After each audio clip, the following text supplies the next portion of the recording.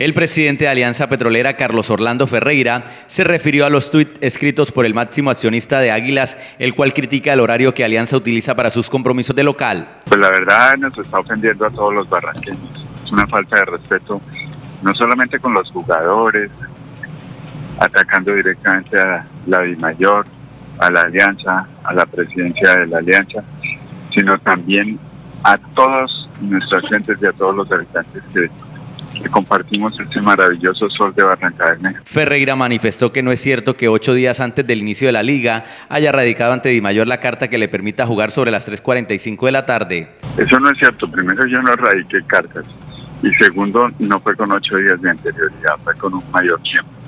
No tengo exactamente claridad frente a la fecha, pero estoy absolutamente seguro que no fueron ocho días. El presidente de Alianza también manifestó que Salazar fue grosero con él y con el presidente de Di Mayor cuando buscó explicación del por qué Alianza juega en ese horario. El señor es un grosero y un vulgar. Yo recibí una llamada del presidente de la Di Mayor donde el señor se fue en lancha entonces con palabras muchas veces contra el presidente de la Mayor por haber recibido esa carta.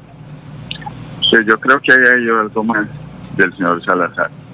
La verdad, pues, nos deja preocupado. El máximo accionista de Alianza confirmó que aún se mantiene ese horario para los siguientes partidos de local. En principio sí, nosotros tenemos que respetar lo que hay. Vamos a mantenerlo y vamos a hablar con la I mayor, pero a mí sí quiero dejar muy claro que es una ofensa para con todos los barranqueños. Alianza desde su regreso a Barranca Bermeja ha jugado en más de cinco ocasiones en ese horario y nunca ha triunfado de local.